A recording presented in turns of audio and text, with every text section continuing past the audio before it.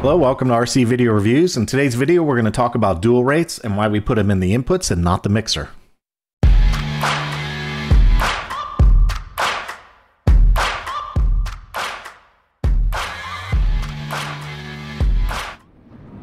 One of the big questions I get on a regular basis is why can't I set my dual rates up in the mixer? And the answer is you can. I'm going to prove it to you. For the demo today, I'm going to show you a basic mix setup for a wing. So we're just going to be looking at aileron and elevator. I don't have throttle and I don't have rudder.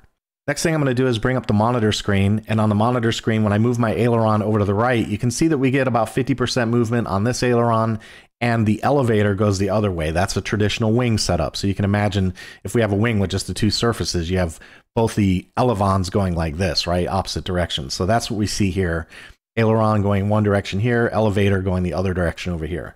Now what I'm going to do is use my SA switch and I'm going to cut that rate in half or that travel in half. So you can see instead of being 50, we're now about 25, 24. So that's using dual rates, right? We've cut our travel down in half. I'm going to bring that switch back up and I'm going to show you that I also have the same function set up on the SB switch, but I'm using the mixer. So right now we're starting at 50 and I'm going to bring the SB switch down and you can see we've now cut our travel down in half. So the answer to the question of whether or not you can set up dual rates in the mixer is yes, you can. Now I'm going to show you why you shouldn't do it. This is a very traditional dual rate setup on EdgeTX, and it's responsible when I go into the monitor for bringing my travel down by about half when I move the SA switch. Now that same exact function can be replicated in the mixer and here's what it looks like. And this should be pretty self-explanatory as to why we don't do it. The way controls work on EdgeTX, we start out with the stick. We start out with a stick, and once we move that stick, the stick feeds the input. That input is right here. The input then feeds the mixer, and the mixer feeds the output. It's a very logical arrangement or flow of information through the radio. So we start out on the input screen here, and then we, as we move the stick, we feed data into the mixer. So you can see all I've done in the mixer is I've started with a value of 50 and 50 for the elevator and aileron. That's the high rate. And I'm using the SB switch to control that rate. So if I bring up the channel monitor again and I move the aileron, you can see we've got that full 50% travel and I can use the SB switch to reduce that travel in half. When we go back to the mixer, you can see that now that I've taken the SB switch out of the top position, we're now using a mix that has 25% for the values instead. And then we do the same thing on the elevator. So right off the bat, let's just count the lines. In order to implement this configuration, we have one, two, three, four, five, six, seven, eight, eight different lines. So now if I want to change my rate, if I want to change the low rate, for example, I don't want 25 and I want it to be say 20 instead, I have to go into all of these lines and make the appropriate changes. We have to edit the aileron and change this down to 20, say 20, for example, if we wanted to use 20, then we have to go into this one and change it down to 20. Whoops. Yeah, and you're going to get a lot of that too. Which direction do you go, right? that happens. So we change that one to 20 and then we have to go into this one.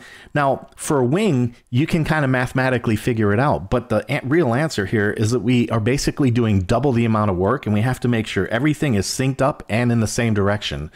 Contrast that with using dual rates on the input screen. All we have to do is go into the single value we want to change for aileron and lower that from say 50 to 40 and we're done. Everything is applied equally in the mixer. And that's why we set up dual rates in the inputs instead of the mixer. This configuration is much simpler and anywhere that I use this input in my mixer, these rules apply. I don't have to go through my entire mix configuration finding these little AIL marks and then editing those based on the switch position and the rate that I want to establish.